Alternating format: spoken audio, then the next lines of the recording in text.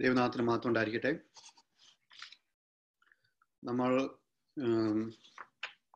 ആഴ്ചതോറും എടുക്കുന്ന നമ്മുടെ ടാമണാക്കോ സ്റ്റഡിയിലേക്ക് ഇപ്പോൾ നമ്മൾ ശ്രദ്ധ തിരിക്കുകയാണ്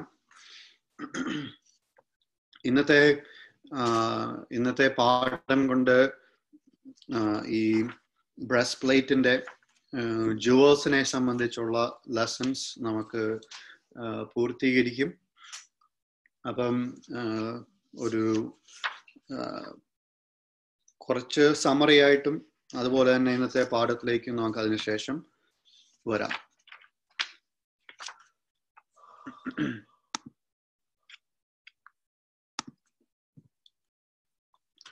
അപ്പം ആദ്യമേ തന്നെ നമ്മൾ കഴിഞ്ഞ ആഴ്ച ചിന്തിച്ച് നിർത്തിയ ഇടമെന്ന് പറയുന്നത് യാക്കോബിന്റെ ഇൻഹെറിറ്റൻസിനെ കുറിച്ച് ചിന്തിച്ചാണ് നമ്മൾ കഴിഞ്ഞ ആഴ്ച നിർത്തിയത്.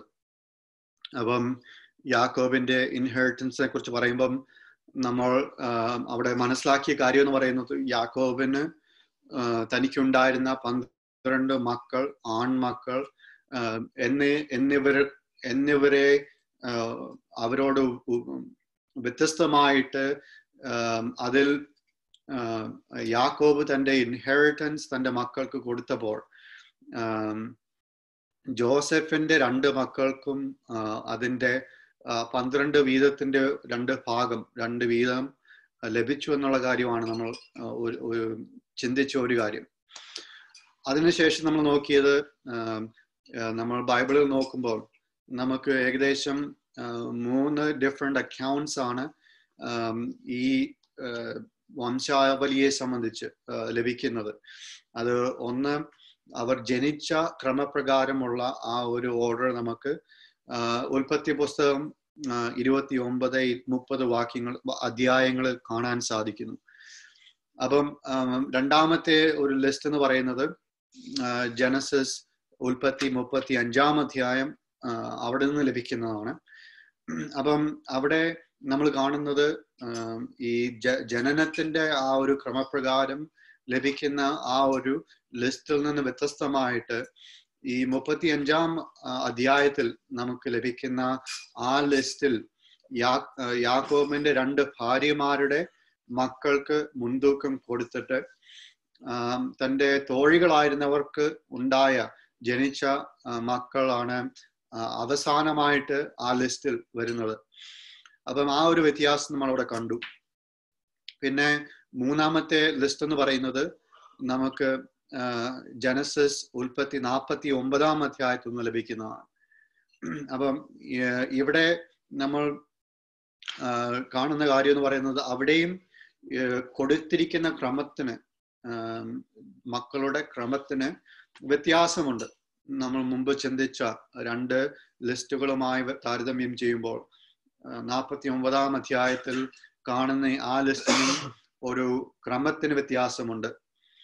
പിന്നെ ഇതിൽ ഇതൊക്കെയും പോരാഞ്ഞിട്ട് നമുക്ക് വെളിപാടിൽ അവിടെ മറ്റൊരു ലിസ്റ്റ് ലഭിക്കുന്നു. അപ്പം അവിടെയും പന്ത്രണ്ട് ഗോത്രങ്ങളുടെ ലിസ്റ്റ് ലഭിക്കുമ്പോൾ അവിടെ നമുക്ക് ഒരു വ്യത്യസ്തമായിരിക്കുന്ന ഇതിനു മുമ്പേ ചിന്തിച്ച മൂന്ന് ലിസ്റ്റിൽ നിന്നും കുറച്ചും കൂടെ വ്യത്യസ്തമായിരിക്കുന്ന ഒരു ലിസ്റ്റാണ് ലഭിച്ചത്. അപ്പം ഈ വിധ കാര്യങ്ങൾ നമ്മൾ ചിന്തിച്ചതിന്റെ ഉദ്ദേശം എന്ന് പറയുന്നത് നമ്മൾ ഈ മഹാപുരോഹിതന്റെ ബ്രസ്റ്റ് പ്ലേറ്റിനെ കുറിച്ച് പഠിക്കുമ്പോൾ അതിൽ പതിപ്പിച്ചിരിക്കുന്ന കല്ലുകൾ അതിൽ പതിപ്പിച്ചിരിക്കുന്ന മുത്തുകൾ ആ രത്നങ്ങളൊക്കെയും യഥാർത്ഥമായി ഏത് ക്രമത്തിലാണ് അത് പതിപ്പിച്ചിരിക്കുന്നതെന്ന് നമുക്ക് വ്യക്തമായി അറിയത്തില്ല. അപ്പം അതിനോട് അനുബന്ധപ്പെടുത്തി നമുക്ക് ആത്മീയമായി അതിനാൽ നമുക്ക് കൂടുതലൊന്നും ചിന്തിക്കാൻ സാധിക്കത്തില്ല. പക്ഷേ നമ്മൾ ചിന്തിച്ച ഒരു കാര്യം എന്ന് പറയുന്നത് ഈ രത്നങ്ങളൊക്കെയും അതിന്റെ ക്രമം പതിപ്പിച്ചിരുന്ന ക്രമം എന്തായിരുന്നാലും അതിന്റെ അമൂല്യത അത് നമുക്ക് തീർച്ചയായിട്ടും മനസ്സിലാക്കാൻ കഴിയുന്ന ഒരു കാര്യമാണ്. അപ്പം രത്നം അത് പേരാ പേരാൽ ഏത് പേരിൽ അറിയുന്ന അറിയപ്പെടും ഇന്നത്തെ കാലത്ത് എന്ന് നമുക്ക് വ്യക്തമായി അറിയത്തില്ല. പക്ഷെ എന്നാലും രത്നങ്ങൾ എന്ന് പറയുന്നത് തന്നെ ജനറലി പറയുമ്പോൾ അത് വളരെ അമൂല്യമായിരിക്കുന്ന അപൂർവമായി നമ്മൾ ഭൂമിയിൽ കണ്ടെത്തി വരുന്ന ഒരു വസ്തുതയാണ്. അപ്പം ഈ വിധ കാര്യങ്ങളോട് അടിസ്ഥാനപ്പെടുത്തി നമ്മൾ ചില കാര്യങ്ങൾ ആത്മീയമായി നമ്മൾ ഈ ആന്റൈ ടിപ്പിക്കൽ ആയിരിക്കുന്ന ജേക്കബിന്റെ ഇൻഹെറിറ്റൻസിനെ സംബന്ധിച്ച് നമ്മൾ ചിന്തിച്ചിരുന്നു. അപ്പം അതിൽ നമ്മൾ ചിന്തിച്ച ചില പാഠങ്ങൾ പറയുന്നത് യാക്കോബിന്റെ പന്ത്രണ്ട് മക്കളിൽ ഒരുവനായിരുന്ന ദാൻ എന്ന മകൻ. ഈ മകന്റെ സ്ഥാനം നമ്മൾ വെളിപാടിൽ കാണുന്ന ആ ലിസ്റ്റിൽ നഷ്ടപ്പെട്ടു. ദാനിന് പകരം ഇവിടെ ഈ വെളിപാടിൽ കാണുന്ന ലിസ്റ്റിൽ മനേസ എന്ന യോസഫിന്റെ മകൻ മകൻ രണ്ടുപേരിൽ ഒരാളാണ് ദാനിന്റെ സ്ഥാനം എടുത്തിരിക്കുന്നത്. അപ്പം ഇതുമായി ആസ്പദപ്പെടുത്തി നമ്മൾ ചില കാര്യങ്ങൾ ചിന്തിച്ചിരുന്നു ആത്മീയമായിട്ട്. എന്നു വെച്ചാൽ നമ്മൾ വെളിപാടിൽ കാണുന്ന കാര്യങ്ങളൊക്കെയും അത് ഭൗമീയമായിരിക്കുന്ന ആശയങ്ങളല്ല പക്ഷെ ആത്മീയമായിരിക്കുന്ന പൊരുൾ പൊരുൾ ആയിരിക്കുന്ന ആ ഒരു നിലയിൽ നമുക്ക് ആസ്പദപ്പെടുത്തി ചിന്തിക്കാൻ കഴിയുന്ന കാര്യങ്ങളാണ്. അപ്പം വെളിപാട് ലഭിക്കുന്നത് അത് ആത്മീയ ഇസ്രായേലിനെ ആസ്പദമാക്കി നമുക്ക് പഠിക്കാനും സാധിക്കുന്ന ആയിരിക്കെ നമ്മൾ അതിന്റെ ചില ആത്മീയ പാഠങ്ങളാണ് ചിന്തിച്ചത്. അപ്പം നമ്മൾ അവസാനം കൺക്ലൂഡ് ചെയ്ത ഒരു കാര്യം എന്ന് പറയുന്നത് ദാൻ എന്ന ആ ഒരു ഗോത്രം റെപ്രസെന്റ് ചെയ്യുന്നത് ഒരിക്കൽ വെളിച്ചം ലഭിച്ചിട്ട് അതിന് ആത്മാവിന്റെ അഭിഷേകം ലഭിച്ചിട്ട് അവർ തിരിച്ച് ആ ഒരു ഇരുട്ടിലേക്ക് തിരിയുന്ന ആ ഒരു ക്ലാസ്സിനെയാണ് ഇവിടെ ഇവിടെ ദാനിന്റെ ഗോത്രം റെപ്രസെന്റ് ചെയ്യുന്നത്. അപ്പം ഈ ഒരു കാര്യമാണ് നമ്മൾ ചിന്തിച്ച കൺക്ലൂഡ് ചെയ്ത ഒരു ലെസൺ എന്ന് പറയുന്നത്.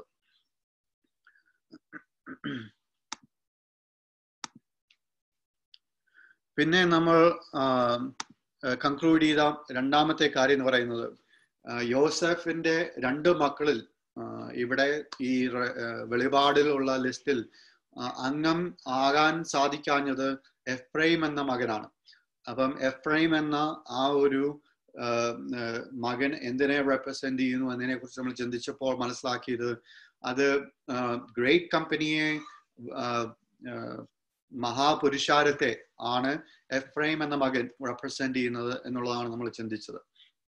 അപ്പം പല വേറെ ഇടങ്ങളിൽ അല്ലെങ്കിൽ വേറെ സാഹചര്യങ്ങളിൽ എഫ്രൈം നാമനോ ക്രിസ്തന്റത്തെ നാമതീക നാമ നാമധേയ ക്രൈസ്തവ സഭയെ റെപ്രസെന്റ് ചെയ്യുന്നു. പക്ഷെ ഈ ഒരു പിക്ചറിൽ എഫ്രൈം ഇവിടെ മഹാപുരുഷാരത്തെയാണ് റെപ്രസെന്റ് ചെയ്യുന്നത്. എന്നുള്ള കാര്യമാണ് നമ്മൾ അവിടെ കൺക്ലൂഡ് ചെയ്തത്. അപ്പം ഇതിനെ സംബന്ധിച്ച് ഈ രണ്ട് ഗണത്തെ അല്ലെങ്കിൽ ഗോത്രത്തെ കുറിച്ച് നമുക്ക് മനസ്സിലാക്കാൻ കഴിയുന്ന കാര്യം എന്ന് പറയുന്നത് ഇവർ വിളി വിളിക്കപ്പെട്ടവരുടെ ഇടയിൽ നിന്ന് ആ ഒരു വിധത്തിൽ പറഞ്ഞാൽ ഒരു ഒരു പക്ഷത്ത് തീർച്ചയായിട്ടും ആ വിളിയും തെരഞ്ഞെടുപ്പും പൂർണമായി നഷ്ടപ്പെട്ട് രണ്ടാം മരണത്തിലേക്ക് തള്ളിപ്പെട്ട തള്ളപ്പെട്ട ചിലരെയും അതുപോലെ തന്നെ വിളിയും തെരഞ്ഞെടുപ്പും അത് പൂർണമായി കൈവരിക്കാൻ കഴിയാതെ ആ സ്വർഗീയമായിരിക്കുന്ന ഓഹരിക്ക് അവർക്ക് ഓഹരിക്കാരായി തീരാൻ കഴിയാതെ പോയ ആ മഹാപുരുഷാരത്തെയും റെപ്രസെന്റ് ചെയ്യുന്ന രണ്ട് ഗണങ്ങളാണിത്.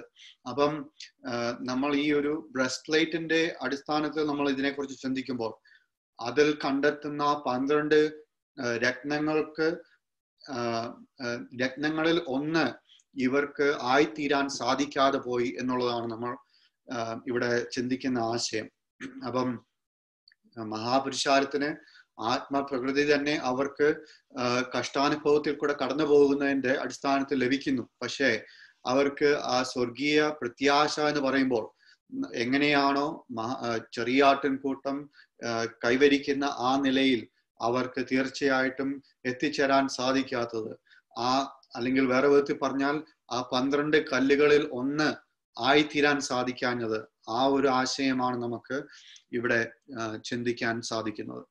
അപ്പം ഇവിടെ മനേസ എന്ന് പറയുന്നത് ആ വിധത്തിൽ നമുക്ക് ആ ഒരു മറ്റൊരു ആശയം ഇതിനോടൊപ്പം ചിന്തിക്കാൻ കഴിയുന്ന ഒരു കാര്യം എന്ന് പറയുന്നത് ആ ഒരു കാട്ടൊലിവിനെ നമ്മ ആ ശാഖയിലേക്ക് ഒട്ടിച്ച് ചേർത്ത ആ ഒരു ആശയവും നമുക്കിവിടെ ആപ്റ്റായിട്ട് യോ യോജിച്ച് ചിന്തിക്കാൻ സാധിക്കുന്ന ഒരു മറ്റൊരാശയമാണ്.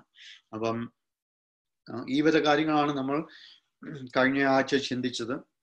അപ്പം ഇതിനോട് ഇതിന്റെ കണ്ടിന്യൂവൻസ് ആയിട്ട് തുടർച്ചയായിട്ട് നമുക്ക് ഈ ഒരു പാഠം നമുക്ക് ഇന്ന് പൂർത്തീകരിക്കാം. അപ്പം നമ്മളിവിടെ പറഞ്ഞു നിർത്തിയ കാര്യം എന്ന് പറയുന്നത് ഈ പന്ത്രണ്ട് കല്ലുകൾ എന്ന് പറയുന്നത് സുവിശേഷ യുഗത്തിൽ ദൈവം തിരഞ്ഞെടുക്കുകയും ദൈവം വിളിച്ച് വേർതിരിച്ച് തിരഞ്ഞെടുക്കുന്ന തന്റെ ചെറിയ ആട്ടിൻ കൂട്ടത്തെയാണ് ഇത് സൂചിപ്പിക്കുന്നത് എന്നുള്ളതാണ് നമ്മൾ പറഞ്ഞു നിർത്തിയത്. അപ്പം ഈ ഒരു നിലയിൽ നമ്മൾ കാണാൻ നമുക്ക് കാണാൻ സാധിക്കുന്നത് ക്രിസ്തു തന്റെ മരണത്താൽ താൻ മരിച്ചു ഉയർത്തെഴുന്നേ ഉയർത്തെഴുന്നേൽക്കുന്ന ആ ഒരു സന്ദർഭത്തിൽ താൻ തന്റെ മരണത്താൽ ആ ഒരു സ്വർഗീയ വെളിയുടെ വാതിൽ തുറക്കുകയും അന്നു മുതൽ താൻ ആ ഒരു പ്രത്യാശയിലേക്ക് തന്നെ തന്നെ അറിയാനും തന്നെ പിന്തുടരുവാനും ആഗ്രഹിക്കുന്ന ജനത്തെ വിളിക്കുകയും അവനെ അനുഗമിക്കാൻ അവരെ വേർതിരിക്കുകയും ചെയ്യുന്ന ആ ഒരു വേലയാണ് ക്രിസ്തു സോറി ദൈവം ഇപ്പോൾ ചെയ്തുകൊണ്ടിരിക്കുന്നത്. അപ്പം ആ നിലയിൽ എങ്ങനെയാണോ ഒരു രത്നം അത് രത്നമായി തീരാനായിട്ട് ഒരു പ്രിപ്പറേഷൻ അല്ലെങ്കിൽ ഒരുക്കം കൊള്ളാനായി ഉള്ള ഒരു വേലയിൽ കൂടെ കടന്നു പോകണം എന്നതുപോലെ തന്നെ ഈ ആത്മീയമായിരിക്കുന്ന രത്നങ്ങളായി തീരുന്ന ഈ സഭയും ചെറിയാട്ടിൻ കൂട്ടവും ഒക്കെയും ദൈവം ക്രിസ്തുവിന്റെ ആ മരണ മരണം മുതൽ ഇപ്പോൾ ഏകദേശം രണ്ടായിരം വർഷത്തോളം ആ ഒരു വേലയിലാണ് ദൈവം ഇപ്പോൾ ഏർപ്പെട്ടിരിക്കുന്നത്. തന്റെ രത്നങ്ങളെ താൻ ഇപ്പോൾ പ്രിപ്പയർ ചെയ്തുകൊണ്ടിരിക്കുകയാണ് റെഡിയാക്കിക്കൊണ്ടിരിക്കുകയാണ് അപ്പോൾ ഈ ഒരു വേല ദൈവം ഇപ്പോൾ അത് പൂർത്തീകരിച്ചിട്ടില്ല എന്നുള്ളതാണ് നമ്മൾ കാണുന്നത്. എന്തെന്ന് വെച്ചാൽ ഈ രത്നങ്ങൾ ഒരുക്കം ചെയ്യുക എന്നത് മാത്രമല്ല ഇപ്പോൾ സുവിശേഷ യുഗത്തിൽ ദൈവം ഉദ്ദേശിക്കുന്ന വേല. അത് തീർച്ചയായിട്ടും ആ ഒരു സംഖ്യ പൂർത്തീകരിക്ക പൂർത്തീകരിക്കാത്തതിനാൽ ഇപ്പോൾ ആ ഒരു സ്വർഗീയമായിരിക്കുന്ന പ്രത്യാശയുടെ വാതിൽ ഇപ്പോഴും അടച്ചിട്ടില്ല എന്നുള്ളതാണ് നമ്മൾ മനസ്സിലാക്കുന്നത്. അതിനാൽ ഇപ്പോഴും ദൈവം അതിന്റെ അംഗം സംഖ്യ തീരുവോളം അത് പൂർത്തീകരിക്കുവോളം ആ രത്നങ്ങളെ ഇപ്പോഴും ദൈവം തയ്യാറാക്കിക്കൊണ്ടിരിക്കുകയാണ്. അപ്പം അതിനോടൊപ്പം തന്നെ അത് തയ്യാറാക്കിയതിന് ശേഷം പ്രിപ്പയർ ചെയ്തതിന് ശേഷം ഒരു അസംബ്ലിംഗ് പ്രോസസ്സും കൂടി ഉണ്ട് ദൈവം പൂർത്തീകരിക്കേണ്ടത്. അപ്പം ഇത് ഈ ഒരു പ്രോസസ്സും ഇതുവരെ പൂർത്തീകരിച്ചിട്ടില്ല. പക്ഷെ ഭാഗികമായിട്ട് അത് ദൈവം ഇപ്പോൾ പൂർത്തീകരിച്ചു എന്നുള്ളതാണ് നമ്മൾ കാണുന്നത്. എന്തെന്ന് വെച്ചാൽ ഈ അസംബ്ലിംഗ് പ്രോസസ് എന്ന് പറയുന്നത് അത് റെഡി ആയിരിക്കുന്ന രത്നങ്ങളെ അത് ഈ ബ്രസ് പ്ലേറ്റിൽ പതിപ്പിക്കുക എന്നുള്ളതാണ് ആ ഒരു അസംബ്ലിംഗ് പ്രോസസ്സിൽ അടങ്ങുന്ന വേല. അപ്പോൾ ക്രിസ്തുവിന്റെ രണ്ടാം വരവോളം ക്രിസ്തുവിൽ ഉറങ്ങിക്കിടന്നിരുന്ന സെയിൻസ് എന്ന് നമ്മൾ അറിയ അറിയുന്ന ആ വ്യക്തികളൊക്കെയും ചെറിയാട്ടൻ കൂട്ടത്തിന്റെ അംഗങ്ങൾ ക്രിസ്തുവിന്റെ രണ്ടാം വരവ് വരവ് വരെ താൻ ക്രിസ് അവരൊക്കെയും ക്രിസ്തുവിൽ ഉറങ്ങുന്നവരായിരുന്നു. അപ്പോൾ ക്രിസ്തുവിന്റെ രണ്ടാം വരവിൽ അന്ന് വരെ ഉറങ്ങിയവർ ക്രിസ്തുവിന്റെ വിളി കേട്ട് അവനോടൊപ്പം ഉയർത്തെഴുന്നേൽപ്പിൽ ഇപ്പോൾ ആ ഒരു ആത്മപ്രകൃതിയിലാണ് എന്നുള്ള വസ്തുതയിൽ നമുക്ക് മനസ്സിലാക്കാൻ സാധിക്കുന്ന കാര്യം. ആ ഒരു അസംബ്ലിംഗ് പ്രോസസ്സിന്റെ ആ പ്രോസസ് അത് ഭാഗികമായിട്ട് ആ ഒരു പ്രവൃത്തിയാൽ ഇപ്പോൾ പൂർത്തീകരിച്ചു. പക്ഷെ അത് പൂർണമായി അത് പൂർത്തീകരിച്ചിട്ടില്ല. എന്നു വെച്ചാൽ ഇപ്പോഴും വിളിയും തെരഞ്ഞെടുപ്പും മുമ്പോട്ട് പോയിക്കൊണ്ടാണ് ഇരിക്കുന്നത്. ഈ ഹാർവെസ്റ്റ് പീരിയഡ് ഇതുവരെ പൂർത്തീകരിച്ചിട്ടില്ല. അതിനാൽ നമുക്ക് കാണാൻ സാധിക്കുന്നത് ഈ സുവിശേഷ യുഗത്തിന്റെ അന്ത്യം വരെയും എന്ന് പറഞ്ഞാൽ ഈ ഹാർവെസ്റ്റ് പൂർത്തീകരിക്കുന്നത് വരെ ആ ഒരു അസംബ്ലിംഗ് പ്രോസസ് പ്രിപ്പറേഷൻ പ്രോസസ് മുമ്പോട്ട് പോയിക്കൊണ്ടിരിക്കുകയാണ്. അപ്പം ഇത് നമ്മൾ മനസ്സിലാക്കേണ്ട ഒരു കാര്യമാണ്. അപ്പോൾ അങ്ങനെയാണെങ്കിൽ ക്രിസ്തുവിന്റെ രണ്ടാം വരവിന് ശേഷം ക്രിസ്തുവിൽ മരിക്കുന്നവരൊക്കെയും അവർ ക്രിസ്തുവിന്റെ ക്രിസ്തുവിൽ ഉറങ്ങുകയല്ല അന്ന് മുതൽ. പക്ഷേ ഇനിയും അല്ലെങ്കിൽ അന്ന് മുതൽ ക്രിസ്തുവിന്റെ രണ്ടാം വരവ് മുതൽ ക്രിസ്തുവിൽ മരിക്കുന്നവരൊക്കെയും ഈ ട്വിങ്ക്ലിംഗ് ഓഫ് എൻ ഐ ആ ഒരു ഞൊടി നേരത്ത് കൊണ്ട് നേരം കൊണ്ട് അവർ ആ മരിച്ച അവസ്ഥയിൽ നിന്ന് ആ സ്വർഗീയമായിരിക്കുന്നതിലേക്ക് അവർ ഉയർത്തെഴുന്നേൽക്കുകയാണ് ചെയ്യുന്നത്. നമ്മൾ അതിനെ സംബന്ധിച്ച് നമുക്ക് എല്ലാവർക്കും സുപരിചിതമായിരിക്കുന്ന വാക്യമാണ്. നമുക്ക് പക്ഷെ എങ്കിലും വായിക്കാം. ഒന്ന് കോരിന്ത്യർ പതിനാ പതിനഞ്ചാം അധ്യായത്തിന്റെ അമ്പത്തി ഒന്നും അമ്പത്തിരണ്ട് വാക്യങ്ങൾ. ഞാനൊരു മർമ്മം നിങ്ങളോട് പറയാം. നാം എല്ലാവരും നിദ്ര കൊള്ളുകയില്ല. എന്നാൽ അന്ത്യകാഹള നാദത്തിങ്കൽ പെട്ടെന്ന് കണ്ണിമയ്ക്കുന്നിടയിൽ നാം എല്ലാവരും രൂപാന്തരപ്പെടും. കാഹളം ധ്വനിക്കും. മരിച്ചവർ അക്ഷയരായി ഉയർക്കുകയും നാം രൂപാന്തരപ്പെടുകയും ചെയ്യും. അപ്പം ഈ ഒരു വസ്തുതയാണ് നമുക്ക് ഇപ്പോൾ ക്രിസ്തുവിൽ മരിക്കുന്നവരെ കുറിച്ച് മനസ്സിലാക്കാൻ സാധിക്കുന്നത്. അപ്പോൾ ഇതിന്റെ കാരണം എന്താണെന്ന് ഇപ്പോൾ ഓൾറെഡി പറഞ്ഞതിൽ എക്സ്പ്ലെയിൻ ചെയ്തതിൽ എല്ലാവർക്കും മനസ്സിലായെന്ന് തോന്നുന്നു. എന്തെങ്കിലും ക്വസ്റ്റ്യൻസ് ഉണ്ടെങ്കിൽ തീർച്ചയായിട്ടും നമുക്ക് അവസാനം അതിനെ കൺസിഡർ ചെയ്യാവുന്നതാണ്. അപ്പം നമുക്ക് കാണാൻ കഴിയുന്ന കാര്യം ഈ ഒരു അസംബ്ലിംഗ് പ്രോസസ് അല്ലെങ്കിൽ പ്രിപ്പറേഷൻ മുതൽ തുടങ്ങുന്ന വേല അത് അസംബ്ലിംഗ് പ്രോസസ്സിൽ അത് പൂർത്തീകരിക്കുമ്പോൾ തീർച്ചയായിട്ടും ദൈവം തന്റെ ആ ഒരു കൈപ്പണി വേലയെയാണ് വെളിപ്പെടുത്താനിരിക്കുന്നത്. എന്തെന്ന് വെച്ചാൽ എങ്ങനെയാണോ ഭൂമിയിൽ വളരെ വളരെ ഒരു ഒരു കുറഞ്ഞ അളവിൽ കണ്ടെത്താൻ സാധിക്കുന്ന രത്നങ്ങൾ കണ്ടുപിടിച്ച് അതിനെ ഈ വിധത്തിൽ ഒരു ബ്രസ്റ്റ് പ്ലേറ്റ് ആക്കി തീർത്തത്. അതുപോലെ തന്നെ ദൈവം ഇപ്പോൾ ഈ സുവിശേഷ വേലയിൽ സുവിശേഷ യുഗത്തിൽ ദൈവം ചെയ്യുന്ന ഈ വേല എന്ന് പറയുന്നത് അത് ഈ ലോകത്തിൽ ഒന്നുമല്ലാത്തവരുടെ ഇടയിൽ നിന്ന് ചില വ്യക്തികളെ വിളിക്കുകയും വേർതിരിക്കുകയും അവർക്ക് രത്നങ്ങളായി തീരാനുള്ള അവസരവും സഹായവും കൃപയും ഒക്കെയും നൽകി ആ വിധത്തിൽ രത്നങ്ങളായി അവരെ തയ്യാറാക്കി കൊണ്ടുവന്ന് അവർക്ക് അവസാനം രത്നമായി തീരാൻ തക്കവണ്ണം തന്റെ കൃപയുണ്ടായിരുന്നു. അവർക്ക് ഈ തരത്തിൽ രത്നമായി തീരാൻ സാധിക്കുമ്പോൾ പിന്നെ തന്റെ ആ അസംബ്ലിംഗ് പ്രോസസ്സിൽ അത് ഒരു പൂർണ അർത്ഥത്തിൽ അത് എല്ലാം കൂടെ ഒരുമിച്ച് നോക്കുമ്പോൾ ഒരു ബ്രസ് പ്ലേറ്റ് ആയി തീർന്ന് മഹാപുരോഹിതൻ ധരിക്കുന്ന ബ്രസ് പ്ലേറ്റ് ആയി തീരും തീരുമ്പോൾ തീർച്ചയായിട്ടും എങ്ങനെയാണോ ഈ ഭൂമിയും അതിന്റെ സകല നന്മകളും അതിന്റെ സകല ഭംഗിയും ദൈവത്തിന്റെ ആ മാജസ്റ്റിയെ ദൈവത്തിന്റെ കൽ കൈപ്പണി വേലകളൊക്കെയും തന്റെ ആ മഹത്വത്തെ വെളിപ്പെടുത്തുന്നത്. അതുപോലെ തന്നെ ദൈവം ഇപ്പോൾ താൻ ഈ ഒരു ചെറിയ ആട്ടൻകൂട്ടത്തിൽ ക്രിസ്തുവിന്റെ സഭയിൽ ചെയ്യുന്ന ഈ വേല തീർച്ചയായിട്ടും ദൈവത്തിന്റെ ആ ഒരു മൈറ്റി ഹാൻഡി വർക്കിനെ വെളിപ്പെടുത്തുന്ന ഒന്നായിരിക്കും എന്നുള്ളതാണ് നമുക്ക് മനസ്സിലാക്കാൻ സാധിക്കുന്നത്. അപ്പം ഈ ഒരു വസ്തുത നമ്മൾ കഴിഞ്ഞ ആഴ്ചയും ചിന്തിച്ച ഒരു കാര്യമാണ്. അപ്പം അതിനെക്കുറിച്ച് നമുക്ക് പെട്ടെന്ന് വാക്യം ഒന്ന് വായിക്കാം. ഒന്ന് പറഞ്ഞ ഒന്നാം അധ്യായം ഇരുപത്തിയാറാം വാക്യം മറ്റൊരാൾ യാക്കോബ് രണ്ടാം അധ്യായത്തിന്റെ അഞ്ചാം വാക്യം എടുക്കാം. സഹോദരന്മാരെ നിങ്ങളുടെ വിളിയെ നോക്കുവിൻ. ലോകാഭിപ്രായ പ്രകാരം ജ്ഞാനികൾ ഏറെയില്ല ബലവാന്മാർ ഏറെയില്ല കുലീനന്മാരും ഏറെയില്ല.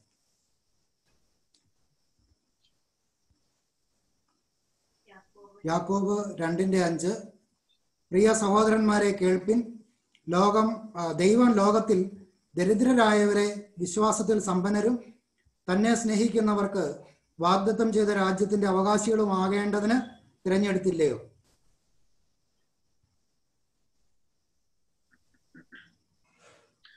ഓക്കെ അപ്പം നമ്മൾ മനസ്സിലാക്കാൻ സാധിക്കുന്ന കാര്യം എന്ന് പറയുന്നത് ഈ നിലയിൽ ദൈവം തിരഞ്ഞെടുക്കുന്ന വ്യക്തികളൊക്കെയും തീർച്ചയായിട്ടും ലോകത്തിന്റെ കാഴ്ചപ്പാടിൽ ആരും തന്നെയുമല്ല. ഒന്നും കൈവരിച്ചവരോ ഒന്നും നേടിയവരോ അല്ല. തീർച്ചയായിട്ടും ലോകത്തിന് അവരുടെ കാഴ്ചപ്പാടിൽ ഒന്നിനും കൊള്ളാത്തവരാണ് എന്നുള്ള നിലയിലാണ് നമുക്ക് ദൈവം തിരഞ്ഞെടുക്കുന്നവരെ സംബന്ധിച്ച് മനസ്സിലാക്കാൻ സാധിക്കുന്നത്. അപ്പം അതുപോലെ തന്നെ നമുക്ക് വളരെ ഇതിന്റെ റിസൾട്ടിൽ നിന്ന് കാണാൻ സാധിക്കുന്ന കാര്യം എന്ന് പറയുന്നത് ദൈവം വിളിച്ചവർ വിളിച്ചവരിൽ നിന്നൊക്കെയും അല്ലെങ്കിൽ ദൈവത്തിന്റെ ആ വിളി തീർച്ചയായിട്ടും അത് ഈ ലോകത്തിൽ എന്തെങ്കിലും ആയി തീർന്നവർ തീർച്ചയായിട്ടും അതിനെ തള്ളിക്കളഞ്ഞിട്ടേ ഉള്ളൂ.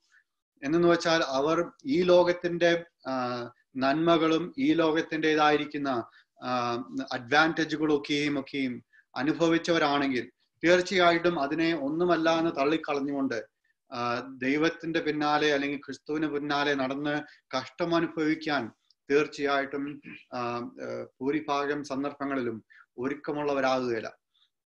അതിന് തീർച്ചയായിട്ടും എക്സെപ്ഷൻസ് ഉണ്ട്. അപ്പോസ്തനായ പൗലോസ് എന്ന് പറയുന്നത് പൗലോസ് ആ ഒരു ശാസ്ത്രിമാരുടെ ഇടകൾ ഇടയിൽ ഉയർന്ന ഒരു പടിയിൽ നിന്നവനാണ്. അല്ലെങ്കിൽ തന്റെ ആ വേല ശാസ്ത്രീയ നിലയിൽ മുമ്പോട്ട് നടന്ന് ചെയ്തിരുന്നെങ്കിൽ തീർച്ചയായിട്ടും അതിൽ ഉന്നത പദവിയിൽ എത്തേണ്ട ഒരു വ്യക്തിയാണ്. പക്ഷേ ആ ഒരു അവസ്ഥയൊക്കെ കൈവിട്ട് ക്രിസ്തുവിന്റെ പിന്നാലെ കഷ്ടം അനുഭവിക്കാനായി ഇറങ്ങിത്തിരിച്ചവനാണ്. അപ്പം ഈ ഇതുപോലെ നമ്മൾ ഈ ലോകത്തിൽ അതിന്റെ നന്മകളും സുഖങ്ങളും ഒക്കെയും അനുഭവിക്കുന്ന ഒരു വ്യക്തി ദൈവത്തിന്റെ പിന്നാലെ പോകാൻ ക്രിസ്തുവിനെ അനുഗമിക്കാൻ തീർച്ചയായിട്ടും ഒരുക്കമുള്ള ആ ഒരു നില കാണാൻ അപൂർവമാണ്. എക്സെപ്ഷൻസ് ഉണ്ടെന്ന് പറയുമ്പോൾ തന്നെ അതിന് നല്ലൊരു എക്സാമ്പിൾ എന്ന് പറയുന്നത് ബ്രദർ റസൽ ആണ്. ബ്രദർ റസൽ താൻ സത്യത്തിലേക്ക് വരുമ്പോൾ വളരെ വളരെയധികം വെൽത്ത് ഉണ്ടായിരുന്ന ഒരു വ്യക്തിയാണ്. തന്റെ പിതാവിന്റെ ബിസിനസ് അത് അത്രത്തോളം സക്സസ്ഫുൾ ആയി സക്സസ്ഫുൾ ആയിരുന്നപ്പോൾ ആ വെൽത്തൊക്കെയും അത് തന്റെ യുനോ തന്റെ സ്വന്തം സുഖത്തിനോ ഉപയോഗത്തിനോ ഉപയോഗിക്കാതെ തീർച്ചയായിട്ടും തന്റെ മരണത്തിന്റെ ആ നിമിഷത്തിൽ ആ, ഇനോർമസ് വെൽത്ത് വളരെ ചുരുക്കം ഡോളേഴ്സ് മാത്രമായി തീർന്നു. എന്തെന്ന് വെച്ചാൽ അത് മുഴുവനും ദൈവത്തിന്റെ വേലയ്ക്ക് വേണ്ടിയാണ് താൻ ഉപയോഗിച്ചത്.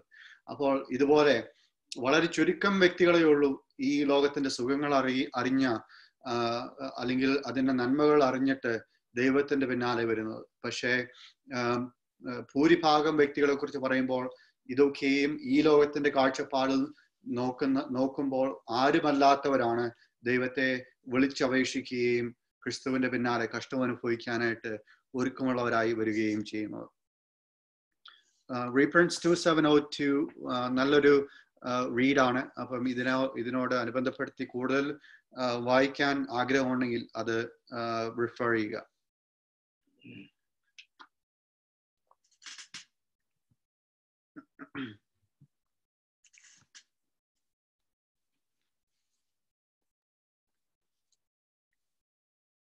ഇനി അടുത്ത ഒരു ആശയത്തിലേക്ക് ഒരു ടോപ്പിക്കിലേക്ക് നമുക്ക് നമ്മുടെ ശ്രദ്ധയെ തിരിക്കാം ഈ ബ്രസ്റ്റ് പ്ലേറ്റിനോട് അനുബന്ധപ്പെടുത്തി തന്നെയാണ് നമ്മൾ ചിന്തിക്കുന്നത്.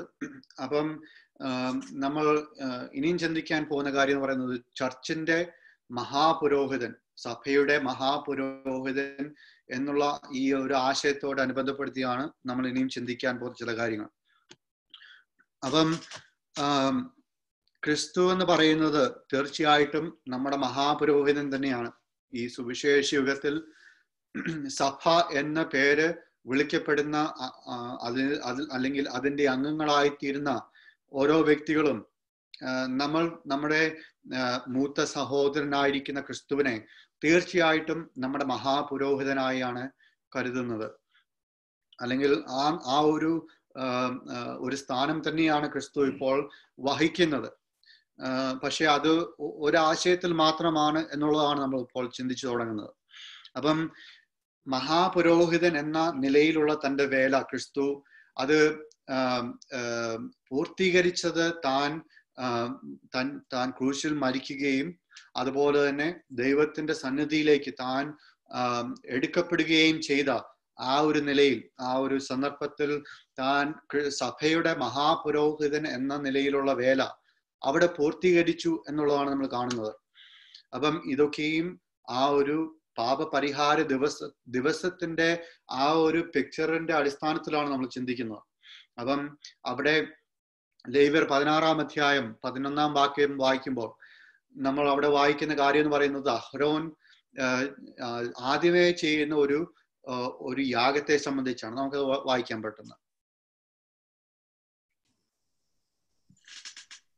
പിന്നെ തനിക്ക് വേണ്ടിയുള്ള പാപയാഗത്തിന്റെ കാളയെ അഹ്റോൻ അർപ്പിച്ച് തനിക്കും കുടുംബത്തിനും വേണ്ടി പ്രായശ്ചിത്തം കഴിച്ച് തനിക്ക് വേണ്ടിയുള്ള പാപയാഗത്തിന്റെ കാളയെ അറുക്കണം. അപ്പം ഇവിടെ തനിക്കും തന്റെ കുടുംബത്തിനും വേണ്ടി അർപ്പിച്ച ഒരു യാഗമാണിത്. അപ്പം ഈ യാഗവസ്തു എന്താണ്? കാളയാണ്.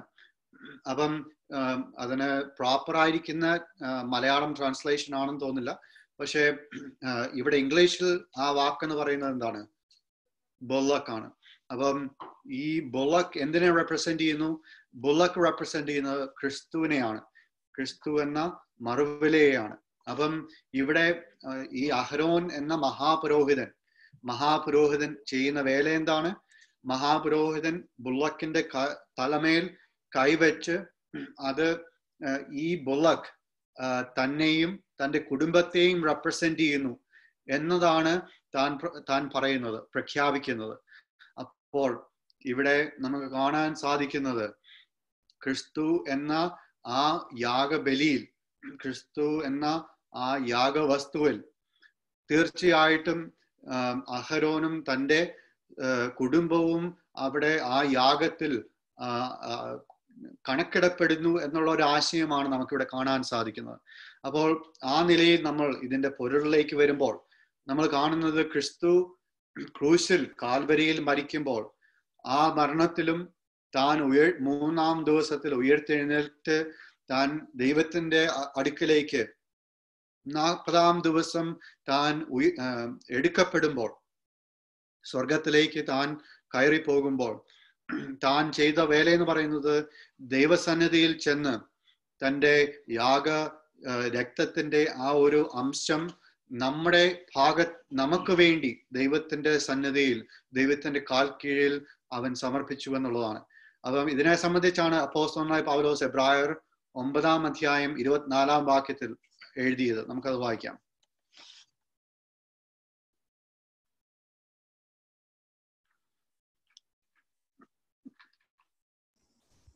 ക്രിസ്തു വാസ്തവമായതിന്റെ പ്രതിബിംബമായി കൈപ്പണിയായ വിശുദ്ധ മന്ദിരത്തിലേക്കല്ല ഇപ്പോൾ നമുക്ക് വേണ്ടി ദൈവസന്നിധിയിൽ പ്രത്യക്ഷനാവാൻ സ്വർഗത്തിലേക്ക് അത്രേ പ്രവേശിച്ചത്.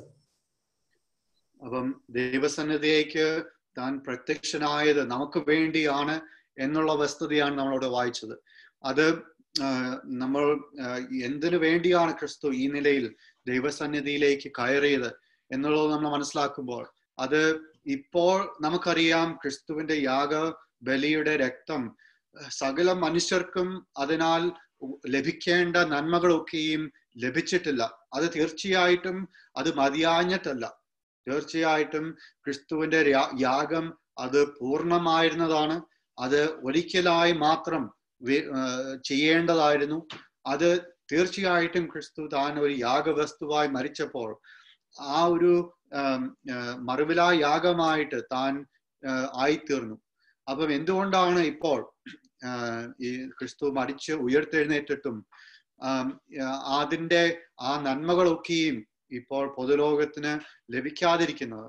അപ്പോൾ നമ്മൾ മനസ്സിലാ ദൈവത്തിന്റെ ആ ഒരു സ്വർഗീയ പദ്ധതിയെ കുറിച്ച് മനസ്സിലാക്കുമ്പോൾ ഈ ഈ നിലയിൽ ഒരു ചെറിയാട്ടൻ കൂട്ടത്തെ ഒരുക്കുവാൻ തക്കവണ്ണം തയ്യാറെടു തയ്യാറാക്കുവാൻ തക്കവണ്ണമാണ് ഇപ്പോൾ പൊതുലോകത്തിന് ലഭിക്കേണ്ട നന്മകളെ ഇപ്പോൾ അത് തുറന്ന് കൊടുക്കാതെ അത് അത് യുനോ അത് പിടിച്ച് വച്ചിരി വച്ചിരിക്കുന്നത്. അപ്പം ആ നിലയിൽ നമ്മൾ മനസ്സിലാക്കുന്നത് ഇപ്പോൾ ക്രിസ്തുവിന്റെ യാഗം അതിന്റെ രക്തം രക്തത്തിന്റെ ആ ഒരു അംശം അതിനാൽ ലഭിക്കുന്ന നന്മ ഇപ്പോൾ ഈ ഒരു ചെറിയ ഒരു ഒരു സംഖ്യ സംഖ്യയ്ക്ക് മാത്രമേ ലഭിച്ചിട്ടുള്ളൂ. അപ്പം നമുക്ക് വേണ്ടിയാണ് ക്രിസ്തു ഇപ്പോൾ തന്റെ രക്തം രക്തം സോറി രക്തം ദൈവത്തിന്റെ സന്നിധിയിൽ അർപ്പിച്ചിട്ടുള്ളത്. അപ്പം ഈ ഒരു വേലയാണ് താൻ ഈ ചർച്ചിന്റെ സഭയുടെ മഹാപുരോഹിതൻ എന്ന നിലയിൽ പൂർത്തീകരിച്ചത്. അപ്പം ഈ ഒരു വേല ചെയ്യുമ്പോൾ നമ്മൾ ഇനിയും നമ്മൾ നിഴലിലേക്ക് തിരിഞ്ഞു നോക്കുമ്പോൾ മഹാപുരോഹിതനായിരുന്ന അഹരോൻ ഈ ബുള്ളക്കിനെ അവിടെ യാഗം അർപ്പിക്കുന്നത് ഈ യാഗ യാഗത്തിന്റെ അങ്കിയായിരുന്ന ഈ വെള്ള അങ്കി ധരിച്ചുകൊണ്ടാണ്. അപ്പം നമുക്കറിയാം ഈ പാപപരിഹാര ദിവസത്തിന്റെ വേലകളിലൊക്കെയും മഹാപുരോഹിതൻ അതിന്റെ യാഗം അർപ്പിക്കുമ്പോൾ ഒക്കെയും ഈ വെള്ള അങ്കി ധരിച്ചാണ് യാഗം അർപ്പിച്ചിട്ടുള്ളത്. പക്ഷെ യാഗങ്ങളൊക്കെയും പൂർത്തീകരിച്ചതിന് ശേഷം താൻ ആ ഒരു government of glory and honour ധരിച്ചുകൊണ്ടാണ് പൊതുലോകത്തെ അല്ലെങ്കിൽ ഇസ്രായേലിനെ അനുഗ്രഹിക്കാനായിട്ട് വെളിയിലേക്ക് വരുന്നത്. അപ്പം ഈ നിലയിൽ ക്രിസ്തു യാഗം അർപ്പിച്ചപ്പോൾ മഹാപുരോഹിതൻ ആ വെള്ളയങ്കി ധരിച്ച അവസ്ഥയിലായിരുന്നു അല്ലെങ്കിൽ സഭയ്ക്ക് വേണ്ടി യാഗമായി തീർന്നപ്പോൾ. ഈ വെള്ളയങ്കി ധരിച്ച മഹാപുരോഹിതന്റെ അവസ്ഥയിലായിരുന്നു എന്ന് നമ്മൾ കാണുന്നത്. അപ്പം അത് ഒരു കാഴ്ചപ്പാടിൽ നിന്ന് നോക്കുമ്പോൾ അങ്ങനെയാണ് നമുക്ക് മനസ്സിലാക്കാൻ സാധിക്കുന്നത്. ഇനിയും ഇതിന് കുറച്ച് വ്യത്യസ്തമായിട്ട് നമ്മൾ ഒരു രണ്ടാമത്തെ ഒരു കാഴ്ചപ്പാടിൽ നിന്ന് നോക്കുമ്പോൾ ഇപ്പോഴും നമുക്ക് മനസ്സിലാക്കാൻ സാധിക്കുന്നത് ക്രിസ്തു ഈ ഒരു വേല എന്ന് പറഞ്ഞാൽ ഈ സഭയെ ഒരുക്കുന്ന ഈ വേല പൂർത്തീകരിച്ചിട്ടില്ല. എന്നു വെച്ചാൽ സഭയുടെ അംഗം ഇതുവരെ പൂർത്തീകരിച്ചിട്ടില്ല. അപ്പം ആ നിലയിൽ നമ്മൾ ആ വേല ഇപ്പോഴും മുമ്പോട്ട് പോയിക്കൊണ്ടിരിക്കുകയാണെന്നാണ് മനസ്സിലാക്കുന്നത്. പക്ഷേ ഇപ്പോൾ മഹാപുരോഹിതനായിരിക്കുന്ന സഭയുടെ മഹാപുരോഹിതനായിരിക്കുന്ന ക്രിസ്തു ആ വെള്ളയങ്കി അല്ല ധരിച്ചിരിക്കുന്നത്. പക്ഷേ ഈ ഈ ഒരു തിരിച്ചു വന്ന അവസ്ഥയിൽ നമ്മൾ മനസ്സിലാക്കുന്നത് ക്രിസ്തു തന്റെ government of glory and honour ധരിച്ചാണ് ഇരിക്കുന്നത്. അത് പ്രോപ്പറായി നമ്മൾ മനസ്സിലാക്കുകയാണെങ്കിൽ അത് കുറച്ചും കൂടെ തന്റെ പേഴ്സണലായിരിക്കുന്ന ഗ്ലോറി ആൻഡ് ഓണർ എന്ന നിലയിലാണ് ബ്രദർ റസൂൽ എക്സ്പ്ലെയിൻ ചെയ്തിട്ടുള്ളത്. അപ്പം തന്നെ തന്നെ കുറിക്കുന്ന അല്ലെങ്കിൽ തന്റെ തന്റെതായിരിക്കുന്ന ആ ഗ്ലോറിയും ഓണറും റെപ്രസെന്റ് ചെയ്യപ്പെടുന്ന ആ ഒരു ഗവൺമെന്റ് ആണ് ദൈവം സോറി ക്രിസ്തു ഇപ്പോൾ ധരിച്ചിട്ടിരിക്കുന്നത് എന്ന എന്ന വിധത്തിലാണ് നമ്മൾ അതിനെക്കുറിച്ച് മനസ്സിലാക്കുന്നത്. അപ്പം ആ നിലയിൽ ക്രിസ്തു ഇപ്പോൾ നമുക്ക് ഒരു ഹൈ പ്രീസ്റ്റ് എന്ന നിലയിൽ നമുക്കൊരു ആഡ്വക്കേറ്റ് എന്നുള്ള ഒരു ഒരു വേലയാണ് ചെയ്യുന്നത്. നമ്മൾ ഒന്ന് യോഹന്നാൻ രണ്ടാമധ്യായം ഒന്നാം വാക്യത്തിൽ അതാണ് വായിക്കുന്നത്. നമുക്കത് വായിക്കാം.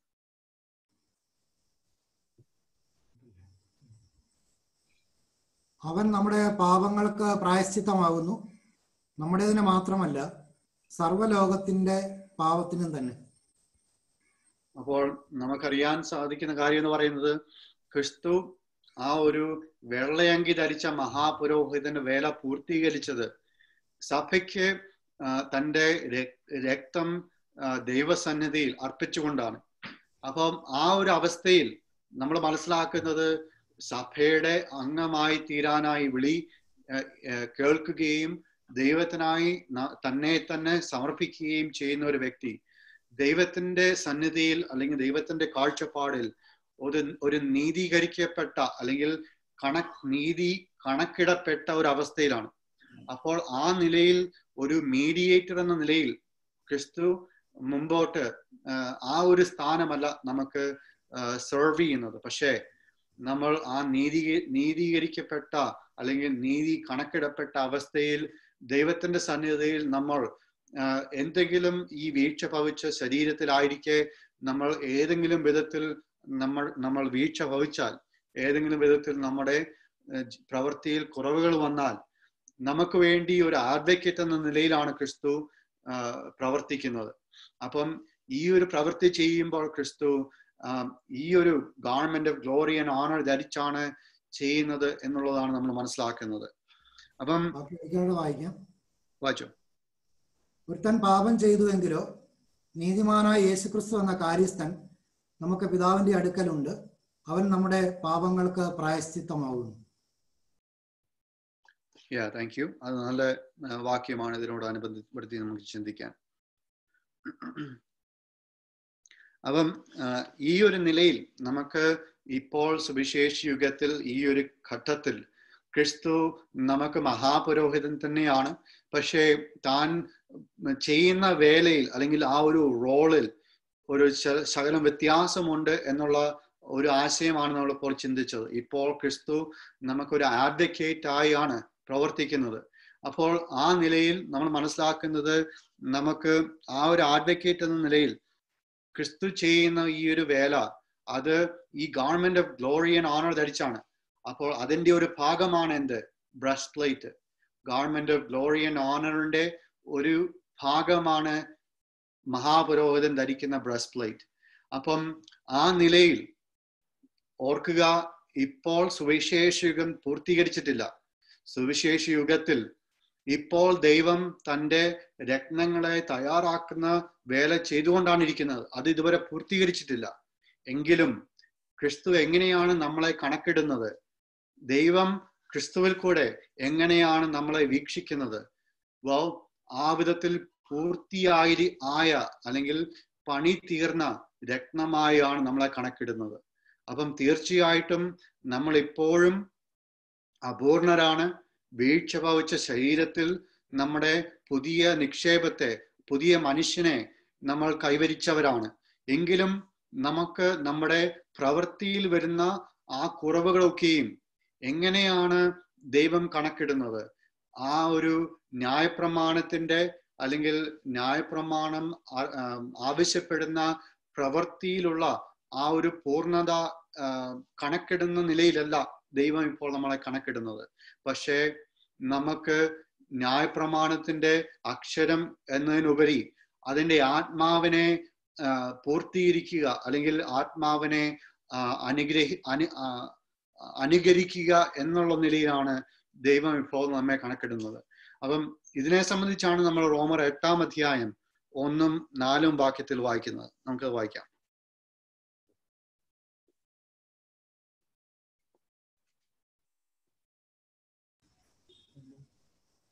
അതുകൊണ്ട് ഇപ്പോൾ ക്രിസ്തുവേശുവിലുള്ളവർക്ക് ഒരു ശിക്ഷാവിധിയുമില്ല. ജഡത്തെയല്ല ആത്മാവിനെ അത്ര അനുസരിച്ച് നടക്കുന്ന നമ്മിൽ ന്യായപ്രമാണത്തിന്റെ നീതി നിവൃത്തിയാകേണ്ടതിന് തന്നെ. അപ്പം ഓർക്കുക ഇപ്പോൾ ഈ സുവിശേഷ യുഗത്തെ പിക്ചർ ചെയ്യുന്ന ആ ഒരു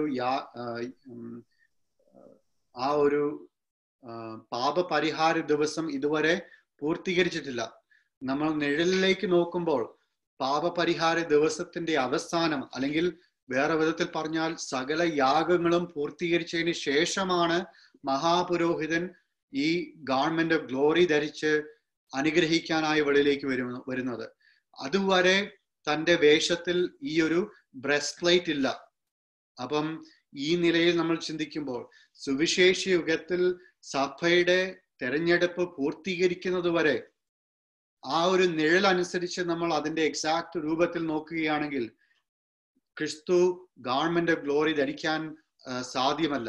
പക്ഷേ എങ്ങനെയാണ് യഥാർത്ഥമായി ക്രിസ്തു ഇപ്പോൾ നമുക്ക് മഹാപുരോഹിതനായിരിക്കുന്നത്? ആ ഒരു വെള്ളയങ്കി ധരിച്ച് അല്ലെങ്കിൽ ബ്രസ് പ്ലേറ്റ് ധരിക്കാത്ത ഒരു മഹാപുരോഹിതനായല്ല പക്ഷേ നമുക്ക് ഇപ്പോൾ ആഡ്വക്കേറ്റ് ആയിരിക്കുന്ന മഹാപുരോഹിതനായ ക്രിസ്തു താൻ ആ ഒരു government of glory and honour ധരിച്ച് നമ്മളെ തന്റെ ആ ഹൃദയത്തിനോട് ചേർത്ത് ആ ഒരു യജ്ഞങ്ങളായാണ് കണക്കിടുന്നത്. അപ്പോൾ ദൈവത്തിന്റെ കാഴ്ചപ്പാടിൽ ദൈവത്തിന്റെ കണ്ണുകളിൽ. ക്രിസ്തുവിന്റെ ഹൃദയത്തിൽ കൂടിയാണ് അല്ലെങ്കിൽ ഹൃദയത്തിൽ കൂടിയാണ് നമ്മളെ വീക്ഷിക്കുന്നത്. അപ്പം അത് മലയാളത്തിലേക്ക് ട്രാൻസ്ലേറ്റ് ചെയ്യുമ്പോൾ അതിന്റെ ആ ഒരു ഒരു ആ ഒരു മാഗ്നിഫിക്കൻസ് മാഗ്നിഫിസൻസ് എത്രത്തോളം ഉണ്ട് എന്നുള്ളത് അത് റിലേറ്റ് ചെയ്യുന്നുണ്ടോ എന്ന് എനിക്കറിയത്തില്ല. പക്ഷേ ശരിക്കും വളരെ യുനോ ബ്യൂട്ടിഫുൾ ആയിരിക്കുന്ന ഒരു ആശയമാണ്. നമ്മളെ ദൈവം കാണുന്നത് ക്രിസ്തുവിന്റെ ഹൃദയത്തിൽ കൂടിയാണെന്നുള്ളത്. അപ്പോൾ നമ്മളെ വീക്ഷിക്കുമ്പോൾ നമ്മുടെ പ്രവൃത്തിയിലുള്ള കുറവുകളെയല്ല ദൈവം കാണുന്നത്.